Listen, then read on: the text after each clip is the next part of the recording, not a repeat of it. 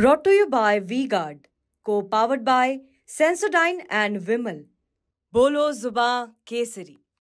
नमस्कार आप देख रहे हैं टीवी नाइन राजस्थान। मैं हूँ अम्बेश श्रीवास्तव। अब देखिए राजस्थान में लोकसभा चुनाव के मतदान हो चुके हैं। सभी 25 सीटों के लिए मतदान हो चुके हैं। हाँ आज ज़रूर अजमेर सीट पर जो है वो एक बूथ पर अजमेर सीट पर नहीं अजमेर सीट की एक बूथ पर जो है वो मतदान आ रहा है, वहाँ पे कुछ शिकायतें मिली थी, जिसके बाद चुनाव आयोग ने उस बूथ पर दोबारा से रिवोटिंग करवाई है, जो कि चल रही है।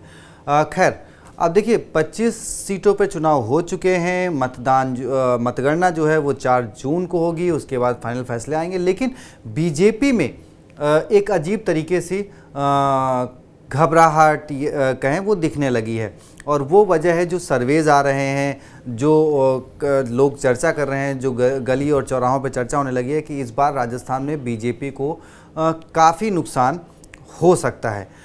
अब वो चर्चा के केंद्र में आ गई हैं प्रदेश की पूर्व मुख्यमंत्री वसुंधरा राजे सिंधिया। क्या कुछ कारण है और क्यों वो सुर्खियों में है? जानेंगे हमारे executive producer Pushkar Chauhan sir से। सर, वसुंधरा राजे क्योंकि सीटें कम जा रही हैं तो चर्चा में वसुंधरा राजे आ गई हैं केंद्र में। देखिए कोई कहे ना कहे कहते हैं आंकड़े झूठ नहीं बोलते। जब आप बैलेंस शीट लेके हिसाब करते हैं ना तो ठीक है।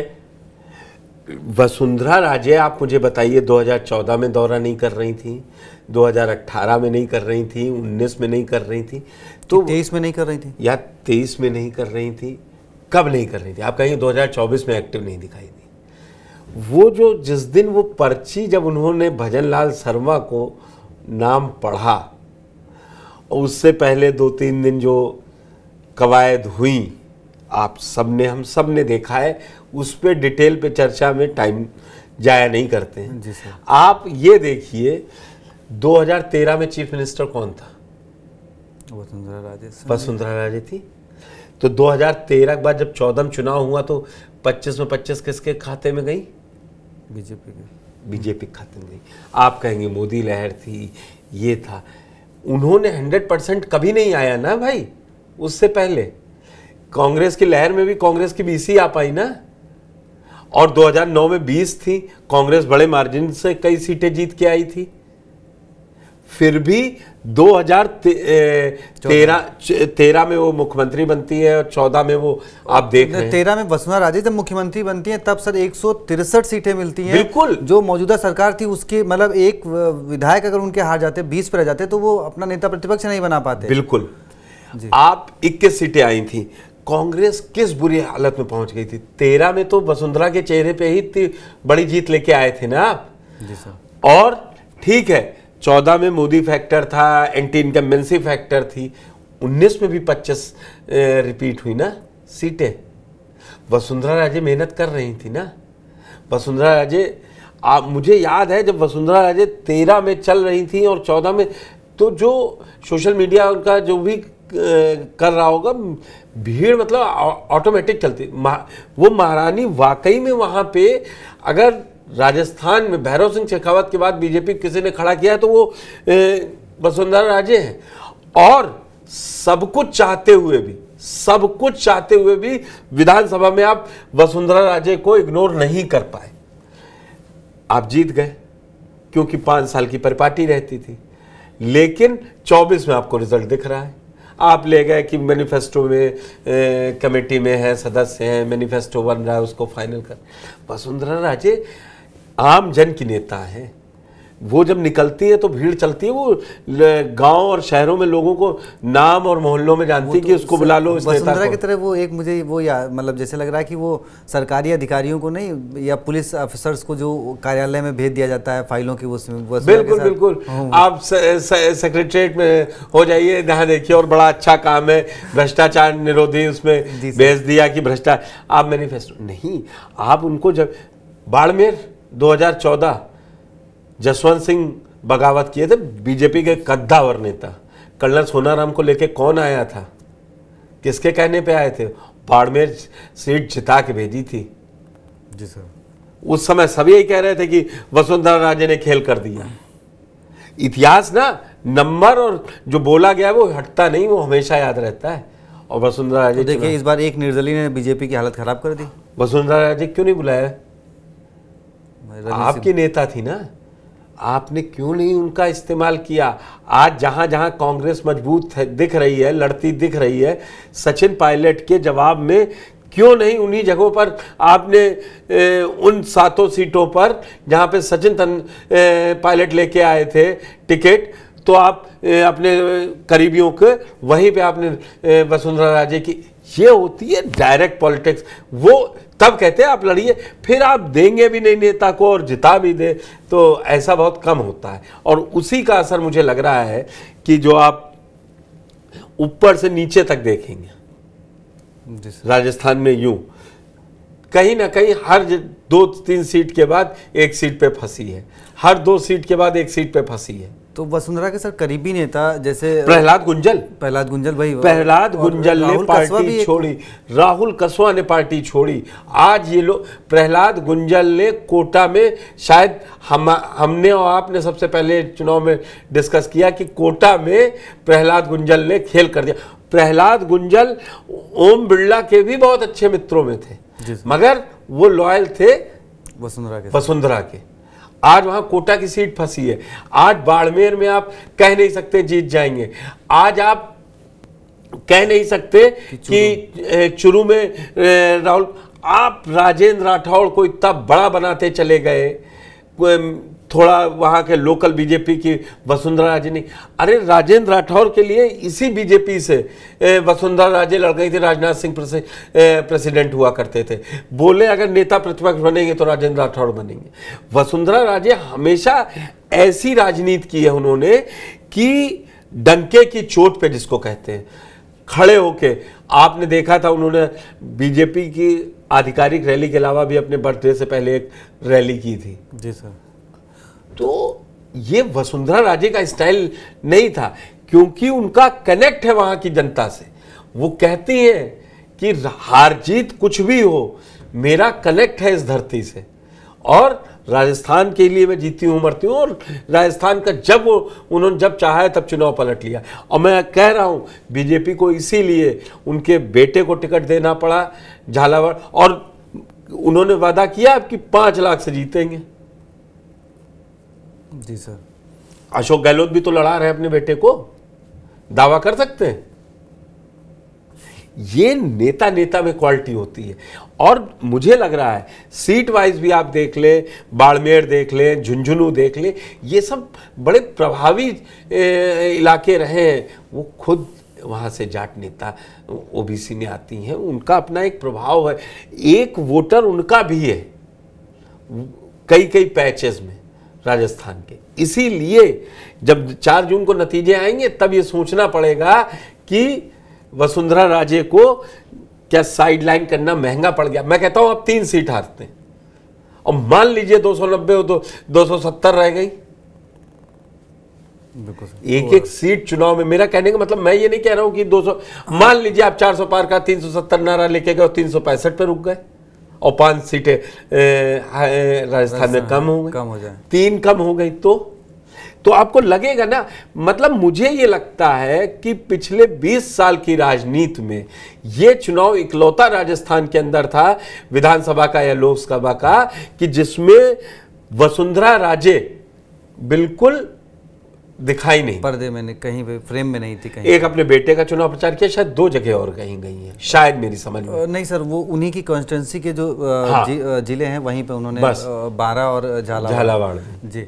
तो अब देखिए सर चर्चा थी कि जब प्रधानमंत्री की सभाएँ राजस्थान में हो रही थी तो ये था कि शायद एक सभा में जब हम लोगों ने बात करी थी। देखिए ये भी एक चर्चा का विषय था कि भाई ये कहा जा रहा था कि वो शायद अपनी फैमिली प्रॉब्लम बहू की तबीयत खराब है उसकी वजह से ये चर्चा विधानसभा में भी थी यही चर्चा लोकसभा में थी इस वजह से नहीं निकल रही है। लेकिन और बेटे चुनाव करवा रही पूरा? लेकिन बेटे चुनाव पूरा लड़वा रही हैं। क्या आप लोग भी लॉजिक देते हैं मैं अपने दर्शकों नहीं नहीं नहीं, वो लॉजिक भाजपा वाला लॉजिक मत दीजिए ना। आप तो पत्रकारिता कर रहे हैं लॉजिक दीजिए ना। बेटे चुनाव लड़वा रही थी तो ठीक है तबीयत। बहू की। वो दौरा कर रही वो बेटे के नामांकन में भी नहीं गई थी। अरे भाई उन्होंने पूरा दावा किया रोड शो किया छोटी छोटी जनसभाएँ तो दो उनको हेलीकॉप्टर देते और आपको पैदल थोड़ी ना ट्रेन से जाना था या बस से जाना था। हेलीकॉप्टर देते दो कहते बाड़मेर जैसलमेर में करिए आप हनुमान बेनीवाल के सामने नागौर में भेजते आप ए, करने। बिल्कुल सर। चलिए सर अब देखिए जब बात वसुंधरा राजे की हुई है और बीजेपी की हुई है तो अब जरा सीएम भजनलाल क्योंकि उनकी साख सबसे ज़्यादा दांव पर आपको है। तो आपको तो इंटरेस्टिंग खबर दे दी जो एक वीडियो वायरल हो रहा है गोविंद सिंह डोटासरा का कि चार तारीख के बाद सीएम बदल जाएँगे। सीएम बदल जाएँगे।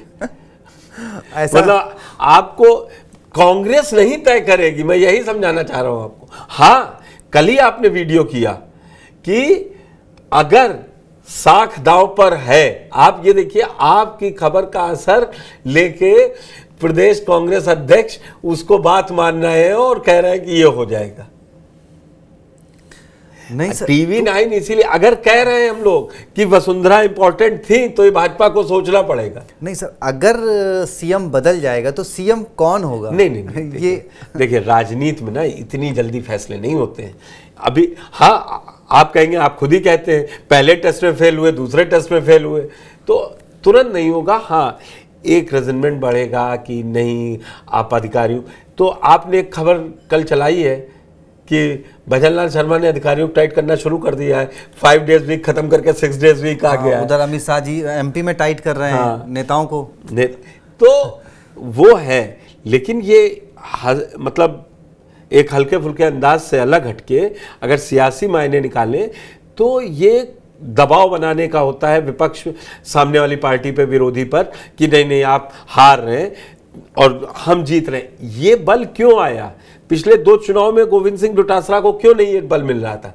क्योंकि ना इतनी इन फाइटिंग बीजेपी के अंदर थी और इतना बढ़िया चुनाव, तीसरा चुनाव है ये, जो लोकसभा की अगर हम बात करें तो वो कुछ कई सीटों पे लड़ती दिख रही है, लड़ती दिख रही है। सर, कल एक एक मतलब जैसे सात विधायक जो हैं, इस बार ताल ठोक रहे हैं। अगर वो सात सांसद बन गए और उसमें से चार कांग्रेस के हैं दो आरएलपी और आपके बीएपी से हैं एक जो है वो निर्दलीय रविंद्र सिंह भाटी हैं। तो सात सीटें अगर खाली होती हैं अगर तो बीजेपी हम बता दें शिव वाले में तो अमीन खान जा रहे हैं। निर्दलीय के खाते में वो जाएगी फिर। नहीं अब निर्दलीय से लड़ेंगे कि कांग्रेस बात कर लेगी बहुत पानी बहेगा। क्या पता ज़रूरत पड़ जाए रविंद्र सिंह भाटी कह दे नहीं मैं भाजपा के साथ भी जाना वो ये भी कह सकते हैं मुझे भा, भाजपा की विचारधारा नहीं सर वही मैं जानता कि देखिए अगर बीजेपी को सात सीटों का नुकसान होगा तो उधर उनके पास सात सीटें विधानसभा में पाने के लिए रहेंगी। ये बड़ा है अगर आप सात हार के गए तो आपको उन सातों पे जी फिर वो भजन लाल शर्मा के ऊपर ही प्रेशर आ जाएगा। फिर वो भजन लाल शर्मा ही पे आ जाएगा। जी इसीलिए कहा कि हाँ। वो प्रेशर किसके ऊपर आएगा? वो जीतने सत्ता में है जो जो चेयर पे है कप्तान जो है जी। टीम हारेगी तो कप्तान से पूछा जाएगा ना। तो वो वो सात हार के और इस सात को जीत के वो दुख भुलाया तो जीतेंगे तो सात अलग अलग जीतेंगे तो सात अलग अलग ना। जी। हारेंगे कौन? कप्तान। तो वो गम कम हो सकता है। जि, जिता लाते हैं तो एक होगा। सु, मंत्री सुरेंद्र सिंह टीटी का हार का बदला शायद ले पाए। लेकिन ये बहुत दूर की कौड़ी है। सॉरी सर देखिए और हम लोग लोकसभा के साथ साथ इस बात की चर्चा नहीं कर पाए कि एक विधानसभा सीट पर भी चुनाव हो रहा है उपचुनाव। हाँ हाँ हाँ बिल्कुल बिल्कुल बा, बागी दौरा बागी दौरा वो भी वहाँ पे पे भी कांग्रेस ने अपना उम्मीदवार नहीं खड़ा किया है बीएपी और वर्सेस बीजेपी में ही लड़ाई है। तो यही सारे जो है ना ये भजन लाल का लिटमस टेस्ट है। फिर वो धीरे धीरे फाइलें पाइलअप होती जाएँगी और फिर एक दिन पूछ लिया जाएगा कि भाई आप नहीं कर पा रहे चलिए सर चलिए मैं एक बात इसके साथ आपको बता दूँ। मोहन यादव भी हैं देखिए। दोनों एक तरीके से लाए गए हैं। भजन लाल शर्मा मोहनलाल यादव मध्य प्रदेश में। तीनों सर छत्तीसगढ़ में भी तो आ, सेम कंडीशन हुआ। हाँ विष्णुदेव शाह लेकिन सबसे ज़्यादा क्यों सबसे राजस्थान चर्चा में। क्योंकि सुरेंद्र सिंह चुनाव हार गए थे। क्योंकि सबसे ज़्यादा मुकाबला यही दिख रहा कांग्रेस लड़ती क्योंकि राज्य मध्य- मध्य- प्रदेश में कहीं कोई नहीं दिख रहा। मध्य प्रदेश में देखिए आपने शिवराज सिंह चौहान का यूज़ किया। शिवराज सिंह चौहान चुनाव लड़वाया। हरदा में रैली करने जाते हैं पीएम और कहते हैं कि मैं क्योंकि हरदा की पड़ोस वाली सीट विदिशा से मुख्यमंत्री पूर्व मुख्यमंत्री शिवराज सिंह चौहान चुनाव लड़ रहे हैं। हरदा में वो कहते हैं कि मैं इनको दिल्ली ले जाने आया हूँ, इनको बड़ी ज़िम्मेदारी। तो इसी टाइप के लिए आपने वसुंधरा राजे को भी प्रोजेक्ट कर दिया होता। बम बम कर रहे होते, पच्चीस की पच्चीस जीत रहे होते। शायद अम्बेश को इतनी मेहनत नहीं करनी पड़ती सारे चुनाव का निकाल के। तब ये बताते सर, इन 25 पे डिसाइड करते कौन सबसे ज़्यादा मार्जिन से जीत रहा है? बिल्कुल, सर। चलिए, खैर अब तो इंतज़ार चार जून का ही है। अ, बाकी देखिए अब क्योंकि अब बड़ा लंबा इंतज़ार है नेताओं के जैसे जैसे खबरें आ रही हैं कि भाई कौन आगे कौन पीछे लोग चौक चौराहों पे चर्चा कर रहे हैं तो अब उसमें वसुंधरा राजे का नाम आ रहा है। देखिए आने वाले दिनों में ना आपको बहुत सी ऐसी अदावतें जो के बारे में जो गढ़ी हुई थी वो जो है चर्चा में आती हुई दिखाई देंगी। तो वो भी आपके सामने हम लाएँगे कि क्या कुछ चल रहा है राजस्थान के गलियारों में। अ, बाकी टीवी नाइन राजस्थान को सब्सक्राइब करना बिल्कुल ना भूलें।